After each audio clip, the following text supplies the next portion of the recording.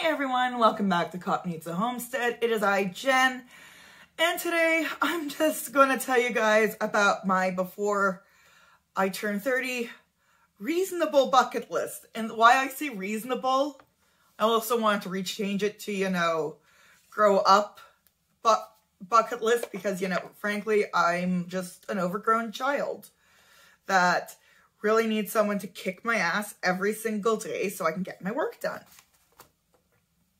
So, one of those things I need to do before I'm 30 happens to be stop procrastinating. Like me trying to get this done. I kept getting distracted by YouTube video after YouTube video after YouTube video, just watching, just watching, just watching, not getting my work done. And I'm like, Jen, go get that fucking video done. Get the bloody video done. Get the video done, you can have a nap and then get up and get another video dungeon is what my inner me says. Uh, another thing I'd like to do is pay off my consumer debt. I was doing well for the month of March and then my car, uh, what are they? Spark plugs, they went. That was 400 bucks. And now I've kind of sadly been eating takeout again because my stove, the top of it cracked and it's like, it's dangerous for me to cook. Hi, Lily. So there's that. I'll get Serg here. I'm really, personally, I'm going to kick my ass if I do not have all the application paperwork sent in by his birthday, which is June 19th. So hopefully, hopefully, I will get that done.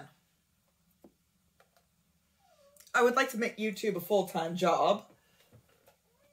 Ugh. And my activism. Hopefully that will work off in the next year or so. I noticed some of you have been dropping off because uh, I, I, I wound up, you know, doing my Veda content, which was a little bit more, you know, dabble here, dabble there, and not as MLM-y. Don't worry, MLM content's still here. Yes, Lily.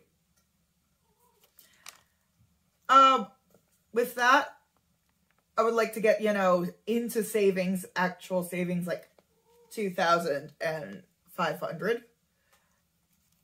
I'd like to take a first aid course, frankly, because, you know, first aid course is never bad. I'd like to have the house completely cleaned.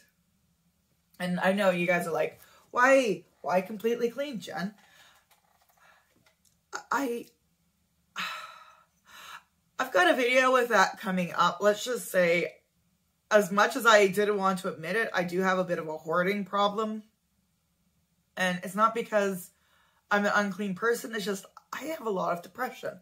But that is going to be a video all in itself like, if you like, like the show Hoarders and things like that, you just want to see, you know, a terrible home go to, you know, good, please stay around. It's getting better. My house is getting better. Like, my office has always been relatively neat to work in. It's the rest of my house, which is embarrassing because I happen to be, you know, a visual merchandiser. So I am paid to professionally organize things. So I should be, you know, I should have this place up and organized, but it's not. So, oops. Uh, new hausfrau habits, which kind of goes in with, you know, the house cleaning. Because, yeah. Ooh, here's some fun ones. Uh, I, I want to start a, a TF SA, an RRSP, and an RDSP.